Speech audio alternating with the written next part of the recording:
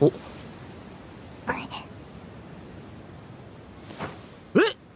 やば顔に出てた。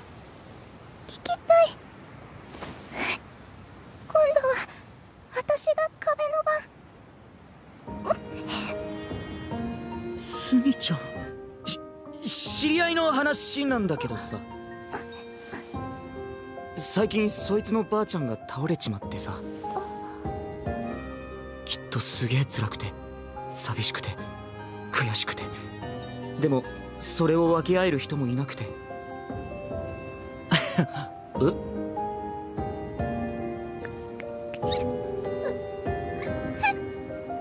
え？和也君の気持ちよくわかる。悩まないですぎて頭いった。